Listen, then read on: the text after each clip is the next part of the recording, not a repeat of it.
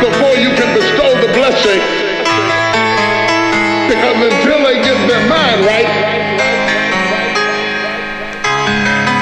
everything you invest in them is going to leak out of the crevices of a mind that refuses to change.